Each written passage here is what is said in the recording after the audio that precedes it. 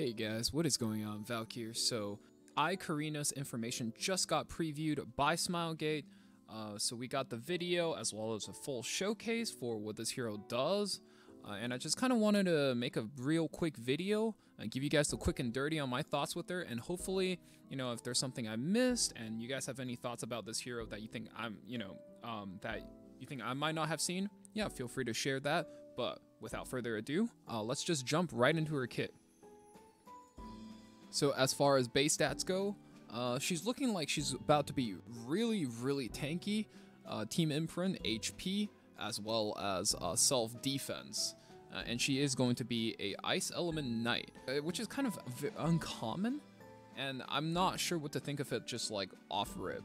Going into her S3, it's essentially um a defense uh, it's an attack into a defense break then giving herself speed up and if the attack doesn't miss, it's going to drop extra damage to all enemies based on her defense.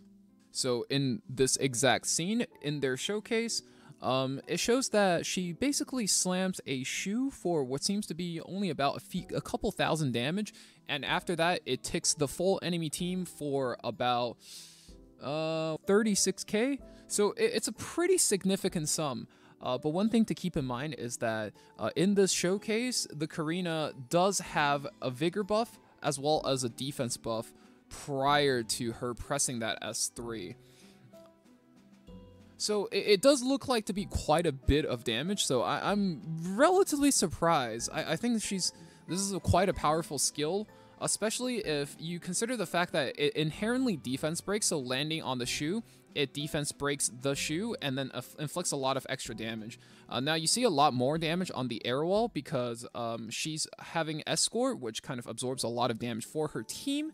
So she's going to be taking more damage there. Uh, but the main highlight is that I'm noticing a couple thousand damage here, a couple thousand damage here, and then on these big thick bruisers, you're seeing, you know, figures uh, of over 10k.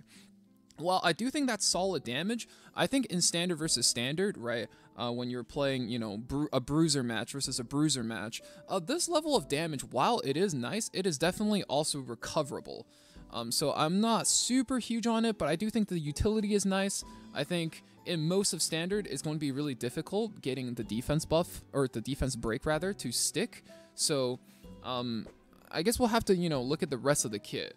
As far as her S2 passive goes, um, so this is when an ally gets attacked to 50% or less, it's going to increase her combat readiness by 30%, and then activate this extra skill, which increases her defense, uh, and on top of that, grants barrier to all, all allies for two turns, right? Barrier strength increased proportionate uh, to caster's defense. I, and I do believe this number with the uh, enhancements is going to be added to this total CR push, which should land her somewhere about 50% CR push when all things said and done. So to me, this is a standard slash tank down tank down styled bruiser uh, that is meant to play not as the main mitigator, but alongside a mitigator. And you're meant to play her anti-aggression, so either anti-aggro or even to some degrees anti-cleave. So I do think this strength, uh, this, so I do think the skill is decently strong. Um, looking at the numbers, uh, in their showcase, this was about 15% HP on a 25k Ravi. Um, meaning, assuming that she's on a standard build of about, you know, 2,000 defense or something like that, it, this is about a shield of 3,750. Um, so if you assume a normal build, the scaling for defense for her should be approximately somewhere around, um, you know, 1.5 to 1.7. Uh, and if this is on a really high defense build, then this might just be something like a 1.2 to 1.3, uh, which to me is kind of okay. It's not great, it's not bad. Uh, and I do think the fact that it's on a three turn cooldown might hurt how viable it is. As far as her S1 goes, I don't think this is anything special. This is basically an Alencia S1, including the Soul Burn, just without the extra attack. Um, overall, I do think this gives her like a pretty cohesive kit. Uh, now, as far as her artifact goes, I think this one is not too useful. I think if you were to play this character, um, you can definitely take that, but uh, at some point, you know, you wonder to yourself, okay, if she's there just to stack the extra, the extra stacks, right, the extra damage, Um, it's definitely playable, uh, but I imagine she's also playable on other artifacts that might help your team survive. For example, like I can see her running uh, an Adamant Shield right next to a Aurius Knight, right? That way your team just can just become essentially ridiculously tanky. In standard versus standard, I don't even think a lot of times a lot of standard units, right? Even high tempo standard units like like like Landy, for example, uh, th- those units will have a very hard time punching through both Aurius and uh, an Adamant Shield. So. Uh, I, I think she's actually pretty okay in that sense, but overall, I think she's usable on any artifact. But we'll definitely have to see since she is a what I would consider a bruiser, even though you're not really supposed to build her crit. I imagine some people still will build her with crit chance and crit damage, um, but I imagine the most popular build would just be really fast on a lot of defense and maybe splashed in with a good amount of HP and effectiveness. And that's really just the breakdown of her kit. Um, in terms of usage, I think she'll be, as I said previously, right? I think she'll be really solid um, in anti-aggressive teams um, due to the fact that I think she's pretty tanky. So she'll be one really hard to kill. She can carry a defensive artifact. Uh, and on top of that, right, she can, if her ally drops low enough HP, boom, CR push herself, and then suddenly she'll just be able to punch and then splash a whole bunch of damage to the enemy team.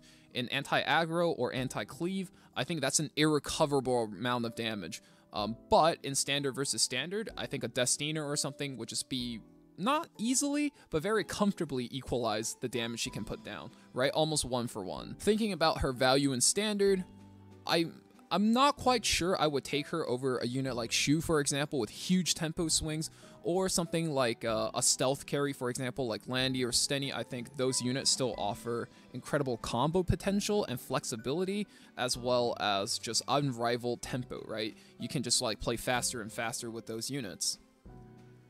I think her passive is really useful for a bruiser to have, especially for a team, uh, right? Because that means she's not selfish, which means sometimes you can even draft her in a more aggressive team uh, as essentially a more defensive support.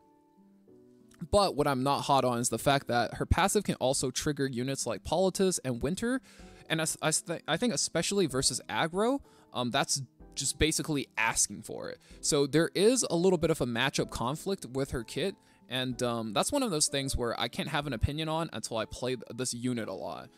Um, I think her S3 splash damage is nice, but it doesn't really, as I've said earlier, right? It doesn't impress me. I think standard units can recover from the damage, um, and I don't think her defense break can stick very well because she doesn't innately strip, and I think cleanses everywhere in the game right now.